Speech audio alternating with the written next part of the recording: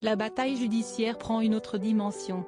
Le 6 juillet, une enquête a été ouverte par le parquet de Montargis, après que de plaintes aient été déposées par Anthony, Anouchka et Alain Fabien à l'encontre d'Iromi Rollin, la dame de compagnie de leur père. Les enfants d'Alain Delon ont notamment intenté cette action pour harcèlement moral et détournement de correspondance. Le 28 juillet, l'avocat de celle qui se présente comme la concubine du monstre sacré du cinéma a à son tour déposé plainte contre les descendants de l'acteur pour violence en réunion, vol et dénonciation calomnieuse. Ce vendredi 4 août, le magazine Closer a révélé que cette dernière réclamait la récision d'un certain nombre d'effets personnels. Parmi eux, se trouverait notamment la coquette somme de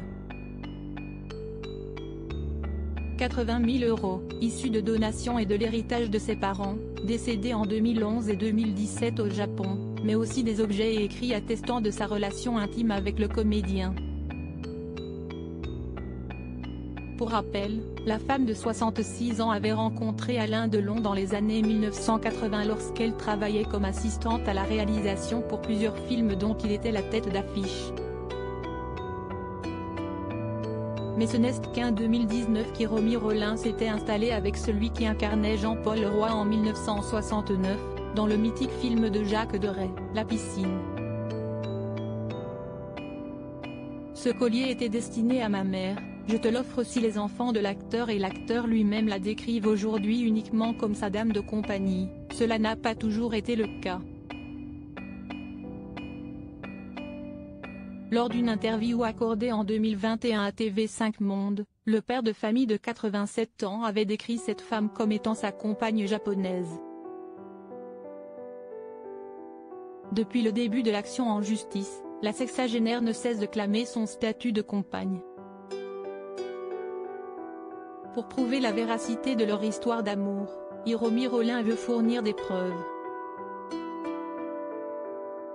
Elle fait notamment référence à un collier de perles que lui aurait offert son conjoint en 2021, assorti d'un mot sur lequel serait écrit « Ce collier était destiné à ma mère, je te l'offre, tu mérites de le porter, je t'aime », peut-on lire dans les colonnes du magazine? De quoi présager d'une longue bataille judiciaire. Article écrit en collaboration avec 6 médias. Crédit photo, Denis Guignebourg.